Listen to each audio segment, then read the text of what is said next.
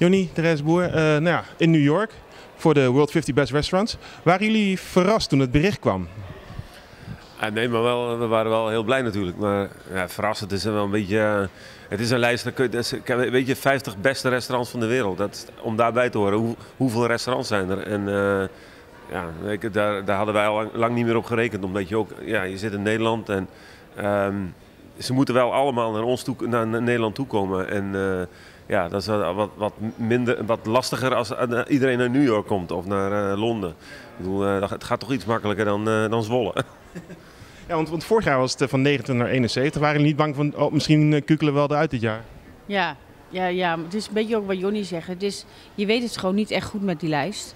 En ehm, ja, dat we nu wel weer bij zitten, dat is fantastisch. Maar nogmaals, we kunnen ook gewoon op 50 staan. En dat is ook al heel erg mooi. dat je er bij de beste 50 zit. Maar ja, het, het, is, het, is, een, het is moeilijk. Wat je zegt, vorig jaar van, van 29 eh, naar 70. Ja, we zijn benieuwd waar we nu staan. Maar het is wel zo dat het... De lijst heeft wel veel, uh, toch wel veel impact. Dus ja, dan is het ook wel weer fijn dat je er wel goed in staat. Ja, want de lijst heeft veel impact wat je zegt. Je zit nu al bij de beste 50. Ben je dan tevreden als je 50ste wordt of wil je nu ook wel een beetje fatsoenlijke uh, notering hebben? Nou, dat zou leuk zijn. Maar ik ben al lang blij dat we bij de, bij de 50 staan. Maar er zijn tegenwoordig, zijn er, ik geloof dat er nu, dit jaar zijn er uh, vijf of zes lijsten uitgekomen. Uh, wereldlijsten. En wij staan elke keer bij de beste, bijna bij, bij de 30 elke keer.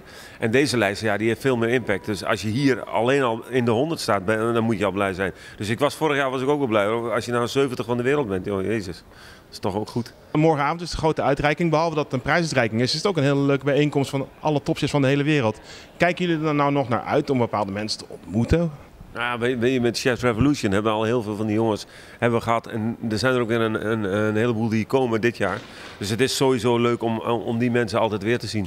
Maar dat is elk jaar, altijd in Londen was het ook leuk. En daarna ga je altijd uh, een glas bier drinken. Dus het is gewoon sowieso altijd wel leuk. En je ziet elkaar altijd op dit soort momenten. Voor de rest zie je ze gewoon helemaal nooit. Omdat die ook natuurlijk altijd druk zijn. Uh, dus ja, het is altijd wel leuk. En New York is sowieso wel een keer leuk. Dit is de eerste keer dat het hier is. Ja, het is de eerste keer dat het hier is inderdaad. Uh, zijn jullie dan nog zenuwachtig voor morgen?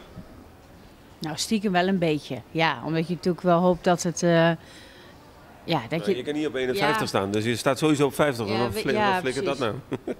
Nou, maar weet je, wij houden er zelf een beetje rekening mee dat we ergens tussen de 40 en de 50 staan. En ik denk dat dat al super goed is voor een uh, restaurantje uit Zwolle in Nederland. Um, maar ja, zenuwachtig. We drinken gewoon een leeg glaasje wijn van tevoren, dat komt goed.